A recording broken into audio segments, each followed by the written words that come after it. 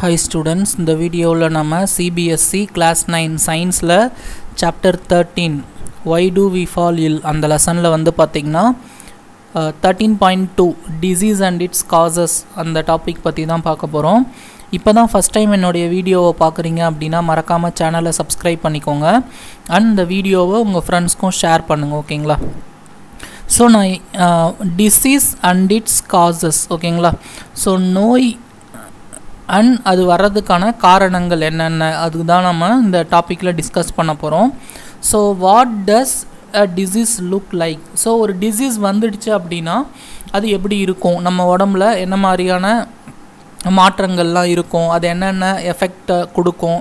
So அதை பற்றி தான் நம்ம பார்க்க போகிறோம் ஓகேங்களா ஸோ நான் ஏற்கனவே சொன்ன மாதிரி every human being or every living thing made up of cells ஒரு ஒரு uh, உயிருள்ள பொருளும் வந்து பார்த்திங்கன்னா செல் அப்படின்ற ஒரு பேசிக் ஸ்ட்ரக்சரால் ஆகிருக்கு செல் எல்லாம் சேர்ந்து சேர்ந்து தான் வந்து பார்த்திங்கன்னா டிஷ்யூஸ் ஃபார்ம் ஆகுது. டிஷ்யூஸ்லாம் சேர்ந்து தான் ஒரு ஆர்கன் ஃபார்ம் ஆகுது. அந்த ஆர்கன் வந்து பார்த்திங்கன்னா ஒவ்வொரு லிவிங் ஆர்கனிசம்லேயும் ஒரு பர்டிகுலர் ஃபங்க்ஷனை பண்ணுது. இப்போ ஹார்ட் எடுத்துக்கிட்டிங்க அப்படின்னா அது ஒரு பம்பாக ஒர்க் பண்ணுது.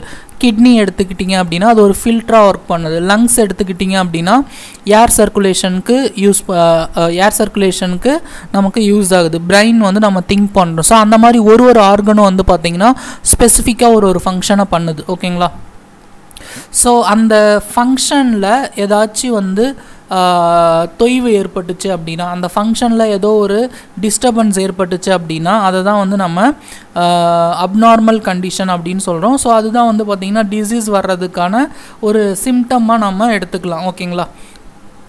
ஸோ இப்போ நம்மளால் வந்து ஃப்ரீயாக மூச்சு விட முடியல. மூக்கில் வந்து பார்த்தீங்கன்னா கோல்டாக கோல்டு வந்துடுச்சுன்னா எப்படி இருக்கும் பார்த்துருக்கீங்கள்ல அது சம் சிம்டம்ஸ் இருக்கும். நம்ம நைட்டு சா நைட்டு தூங்கும்போது வந்து பார்த்திங்கன்னா ஃப்ரீயாக நம்மளால் வந்து பார்த்திங்கன்னா ப்ரீத் பண்ண முடியாது. ஸோ அதெல்லாம் வந்து ஒரு சின்ன சின்ன டிசீஸ் வர்றதுக்கான ஒரு சிம்டம்ஸ் ஓகேங்களா so there are many tissues in the body so நமக்கு தெரியும் ஒவ்வொரு லிவிங் ஆர்கானிசம்லேயும் நிறைய திஷ்யூஸ் இருக்கும். ஸோ திஷ்யூஸ் எல்லாம் சேர்ந்து தான் வந்து பார்த்திங்கன்னா ஆர்கன்ஸ் ஃபார்ம் ஆகுது. அந்த ஆர்கன்ஸ் வந்து பார்த்திங்கன்னா சம் பர்டிகுலர் ஃபங்க்ஷனாக பண்ணுது ஓகேங்களா so each of the organ system has specific organs as its parts it has particular functions. So the digestive system has stomach and intestines and it helps to digest food taken in from the outside of the body. So நம்ம digestive சிஸ்டமோடைய work என்ன அப்படின்னா நம்ம சாப்பிட்ற சாப்பாடை வந்து பார்த்திங்கன்னா digest பண்ணுறது அண்ட் மஸ்குலோ ஸ்கெலிட்டல் சிஸ்டம் அது வந்து பார்த்திங்கன்னா which is made up of bones and muscles so அது வந்து பார்த்திங்கன்னா நம்ம பாடி மூமெண்ட்டுக்கு ஒர்க் பண்ண ஹெல்ப் பண்ணுது ஓகேங்களா so when there is a disease so ஏதாச்சும் ஒரு டிசீஸ் வருது அப்படின்னா either the functioning of one or more system of the body will change for the worse so ஏதோ ஒரு டிசீஸ் வருது அப்படின்னா so one or more organs வந்து பார்த்திங்கன்னா ஒர்ஸ்ட் கண்டிஷனுக்கு போகுது ஓகேங்களா ஒரு ஒரு அப்நார்மல் கண்டிஷனுக்கு போகுது. So these changes give rise to symptom symptoms and signs of disease so இந்த சேஞ்சை தான் வந்து பார்த்திங்கன்னா நம்ம அந்த சேஞ்சால் வர்ற அந்த சிம்டம் அதை தான் வந்து பார்த்திங்கன்னா நம்ம டிசீஸ் வருது அப்படின்ட்டு நம்ம சொல்லலாம் ஓகேங்களா? Symptoms of disease are things we feel as being wrong so அந்த சிம்டம்ன்றது என்ன அப்படின்னா ஸோ நம்ம அன்கம்ஃபர்டபுளாக ஃபீல் பண்ணுறது அதுதான் வந்து சிம்டம் அப்படின்னு சொல்கிறோம் so we have a headache so ஒரு ஹெட்டேக் வருது. வி ஹாவ் காஃப் இருமல். We have loose motions we have wound with pus there are these are the symptoms so இதெல்லாம் வந்து சிம்டம்ஸ் அப்படின்னு சொல்லலாம். ஒரு ஹெட்டேக் வர்றது காஃப் லூஸ் மோஷன் இதெல்லாம் வந்து ஒரு டிசீஸோடைய சிம்டம் அப்படின்னு சொல்லலாம். So these indicate that there may be a disease so இதெல்லாம் வந்துச்சு அப்படின்னா ஸோ நம்ம உடம்புல டிசீஸ் இருக்குது அப்படின்னு சொல்லலாம். But they don't indicate what disease is ஆனால் நம்ம எக்ஸாக்டாக நம்ம என்ன பண்ண முடியாது அப்படின்னா இந்த டிசீஸ் தான் அப்படின்னு நம்ம கன்ஃபார்மாக சொல்ல முடியாது. ஓகேங்களா ஸோ அதுக்கு நம்ம என்ன பண்ணணும் அப்படின்னா நம்ம டாக்டரை பார்க்கணும். ஓகேங்களா ஹெட்டேக் ஹெட்டேக் வந்து பார்த்திங்கன்னா எக்ஸாமினேஷன் ஸ்ட்ரெஸ்ஸாக வரலாம். இல்லை ரொம்ப ரேராக தான் வந்து பார்த்திங்கன்னா ஹெட்டேக் ரொம்ப ரேராக வந்து மெனிஞ்சஸ் அப்படின்ற ஒரு டிசீஸ் வந்துச்சு அப்படின்னா நமக்கு ஹெட்டேக் வரலாம். அந்த மாதிரி வந்து நிறைய டிசீஸ்க்கு வந்து பார்த்திங்கன்னா ஹெட்டேக்குன்றது ஒரு காமன் சிம்டம்ஸாக இருக்குது அதுக்கு நம்ம என்ன பண்ணணும் அப்படின்னா ஜென்ரலாக ஒரு ஃபிசிஷியனை கன்சல்ட் பண்ணி நமக்கு என்ன ப்ராப்ளம் நம்ம சிம்டம்ஸை சொன்னோம் அப்படின்னா ஸோ நம்ம என்னென்ன சிம்டம்ஸ்லாம் சொல்கிறோம் அதை பொறுத்து அவர் என்ன பண்ணுவார் அப்படின்னா நமக்கு என்ன டிசீஸ் இருக்குது அப்படின்றத அவர் என்ன பண்ணுவார் அப்படின்னா டிட்டர்மைன் பண்ணுவார். ஸோ ஒரே ஒரு சிம்டம் வச்சு நமக்கு இதுதான் அப்படின்னு நம்ம பர்டிகுலராக நம்ம என்ன பண்ண முடியாது அப்படின்னா சொல்ல முடியாது. ஓகேங்களா signs of uh, disease or what physicians will look for on the basis of the symptoms signs will give a little more definite indication of the presence of a particular disease so அந்த symptoms அந்த signs வச்சு பார்த்தீங்கன்னா அதாவது என்னென்ன மாற்றங்கள் நடக்குது என்னென்ன abnormal கண்டிஷனில் இருக்குது அதை வச்சு ஃபிசிஷியன் என்ன பண்ணுவார் இந்த டிசீஸ் தானா அப்படின்னு கண்டுபிடிக்கிறதுக்கு என்ன பண்ணுவாங்க அப்படின்னா அவர் அந்த பர்டிகுலரான அந்த சிம்டம் வச்சு அந்த டிசீஸை அவர் பாயிண்ட் அவுட் பண்ணுவார். அப்படி இல்லை அதையும் எக்ஸாக்டாக வந்து பாயிண்ட் அவுட் பண்ணணும் அப்படின்னா நெக்ஸ்ட்டு வந்து பார்த்திங்கன்னா லெபார்ட்ரி டெஸ்ட் ஓகேங்களா இப்போ நீங்கள் வந்து பார்த்திங்கன்னா ஒரு அப்டோமன் பெயினாக இருந்துச்சு அப்படின்னா ஒரு ஸ்கேன் எடுத்து பார்க்க சொல்லுவாங்க. இல்லை வந்து ஒரு ஏஜ்டு பர்சனாக இருந்ததுன்னா சுகர் டெஸ்ட் எடுக்கிறது பிளட் டெஸ்ட் எடுக்கிறது யூரின் டெஸ்ட் எடுக்கிறது. ஸோ அந்த மாதிரி டெஸ்ட் பண்ணி இது பண்ணுறது இப்போ ஒரு செஸ்ட் பெயின் அப்படின்னு போகிறோம் அப்படின்னா ஸோ இட் மேபி வந்து கேஸ்ட்ரிக் ப்ராப்ளமாக இருக்கலாம். அப்படி இல்லை அப்படின்னா வந்து பார்த்திங்கன்னா ஹார்ட் ப்ராப்ளமாக இருக்கலாம். ஸோ ஹார்ட் ப்ராப்ளம்னா ஒரு இசிஜி எக்கோ கார்டியோகிராம் எடுத்தோன்னா நமக்கு வந்து பார்த்திங்கன்னா நம்மளால் என்ன பண்ண முடியும் அப்படின்னா ஏதாச்சும் டிசீஸ் இருக்கா அப்படின்றத நம்ம என்ன பண்ண முடியும் அப்படின்னா ஐடென்டிஃபை பண்ணிக்க முடியும். ஓகேங்களா?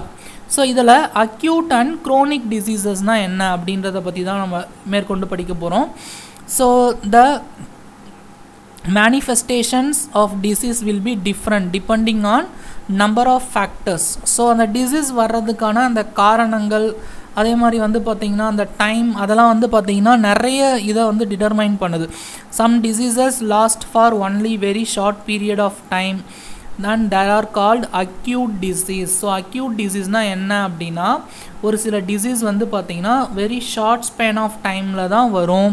டக்குன்னு என்ன ஆகும் அப்படின்னா ஒரு ஒரு two days three days or maximum ஒரு ஒன் வீக்கில் சரியாயிடும். ஓகேங்களா ஃபார் எக்ஸாம்பிள் வந்து பார்த்திங்கன்னா காமன் ஃபீவர் கோல்டு இதெல்லாம் வந்து பார்த்திங்கன்னா ஒரு கொஞ்ச நாள்லேயே சரியாயிடும். ஒரு ஒன் வீக் மேக்ஸிமம் அந்த ஸ்பேன்லேயே வந்து பார்த்திங்கன்னா சரியாயிடும். ஸோ அந்த மாதிரி ஷார்ட் ஸ்பேன் ஆஃப் டைமில் வர்றது தான் வந்து பார்த்திங்கன்னா acute diseases we all know from experience that the common cold lasts for only few days இப்போ ஒரு கோல்டு வந்துச்சுன்னா ஒரு ஒன் வீக்கில் சரியாயிடும்.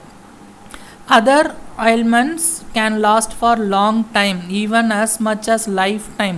And there are called chronic diseases so chronic டிசீசஸ்னால் அது நம்ம உடம்புல வந்துடுச்சு அப்படின்னா ரொம்ப நாள் வந்து பார்த்திங்கன்னா அது போகாது போகிறதுக்கு ரொம்ப நாள் ஆகலாம். இல்லை நம்ம லைஃப் லாங் வந்து பார்த்திங்கன்னா அதுக்கு ட்ரீட்மெண்ட் எடுக்கிற மாதிரி இருக்கும். ஓகேங்களா ஸோ இதெல்லாம் அதுக்கு பேர் வந்து க்ரோனிக் டிசீசஸ் அக்யூட் டிசீசஸ்னால் வந்து உடனே ஒரு ஃபியூ டேஸில் நம்மளால் சரி பண்ண முடியுது அப்படின்னா அதை தான் வந்து அக்யூட் டிசீசஸ் அப்படின்னு சொல்கிறோம் இல்லை அந்த மாதிரி சரி பண்ண முடியல ரொம்ப நாள் இருக்குது அப்படின்னா அது க்ரோனிக் டிசீசஸ் ஓகேங்களா? ஸோ ஃபார் எக்ஸாம்பிள் வந்து எலிஃபன்டியாசிஸ் யானைக்கால் நோயின்றோம் இல்லையா? அப்போ அதெல்லாம் வந்துச்சு அப்படின்னா லைஃப் லாங் வந்து பார்த்திங்கன்னா அதை நம்ம என்ன பண்ண முடியாது? க்யூர் பண்ணவே முடியாது. லைஃப் லாங் நம்ம அதை ட்ரீட்மெண்ட் எடுத்துக்கிட்டே தான் இருக்கணும். டில் டேத் நம்ம என்ன பண்ணோம் அப்படின்னா ட்ரீட்மெண்ட் எடுத்துக்கிட்டே தான் இருக்கணும். ஹை பிளட் ப்ரெஷர் அந்த மாதிரி சுகர் அதெல்லாம் வந்து பார்த்திங்கன்னா ஒரு நார்மல் வேல்யூவை விட தாண்டி போயிடுச்சு அப்படின்னா நம்ம என்ன பண்ணணும் அப்படின்னா ட்ரீட்மெண்ட் வந்து லைஃப் லாங் கண்டினியூ பண்ணிக்கிட்டே தான் இருக்கணும். ஓகேங்களா ஸோ அடுத்தது வந்து பார்த்திங்கன்னா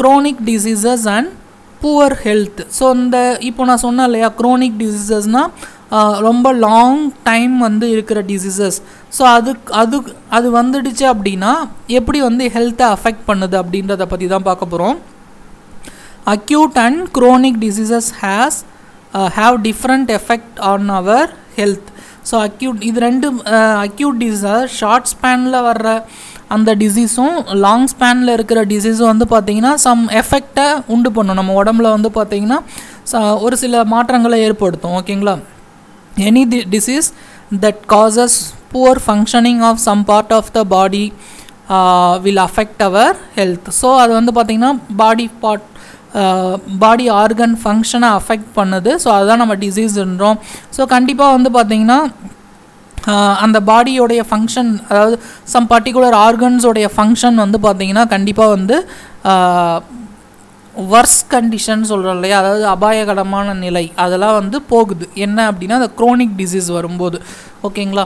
So this is because of this is because functions of the body are necessary for being healthy so ஏன் வந்து இந்த மாதிரி போச்சு அப்படின்னா வந்து என்ன ஆகும் அப்படின்னா நம்ம உடம்பு வந்து நல்லா ஆரோக்கியமாக இருக்கணும் அப்படின்னா நம்ம பாடி பார்ட்ஸ் எல்லாமே வந்து பார்த்திங்கன்னா ப்ராப்பராக ஃபங்க்ஷன் ஆகணும். அப்படி இல்லை அப்படின்னா நம்மளால் என்ன பண்ண முடியாது?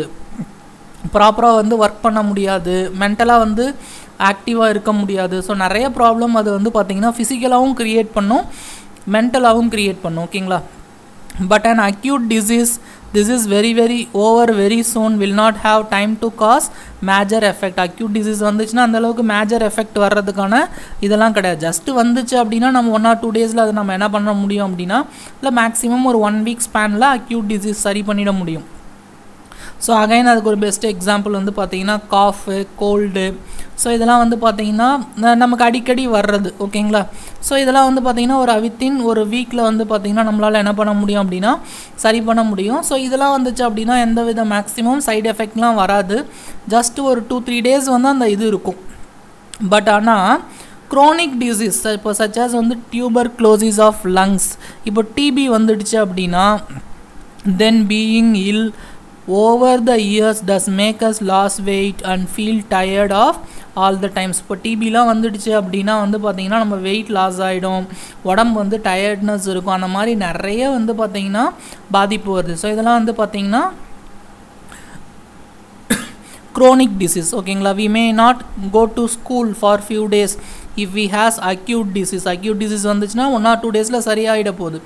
பட் ஆனால் க்ரோனிக் டிசீஸ் வந்துச்சு அப்படின்னா it will make difficult for us to follow what is being taught in school and reduce our ability to learn so ஒரு ஸ்கூலுக்கு போகிற ஒரு பையன் ஓகேங்களா ஒரு ஸ்டூடெண்ட் வந்து அக்யூட் டிசீஸால் அவன் பாதிக்கப்படுறான் அப்படின்னா ஒன் ஆர் டூ டேஸ் வந்து நம்ம ஸ்கூலுக்கு போகாமலே நம்மளால் சரி பண்ணிக்க முடியும். பட் ஆனால் க்ரோனிக் டிசீஸ் வந்துடுச்சு அப்படின்னா ஸோ அது வந்து பார்த்திங்கன்னா ரொம்ப லாங் ஒரு ஒன் இயர் ஆகலாம் டூ இயர் ஆகலாம்.